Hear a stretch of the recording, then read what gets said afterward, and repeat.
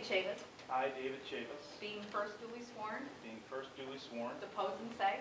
Depose and say. That I will support the Constitution of the United States. That I will support the Constitution of the United States. And the Constitution of the State of Michigan. And the Constitution of the State of Michigan. And the Charter and ordinances. And the Charter and ordinances. Of the City of St. Clair Shores, of the City of St. Clair Shores, and I will endeavor se- to secure and maintain. And I will endeavor to secure and maintain. An honest and efficient administration.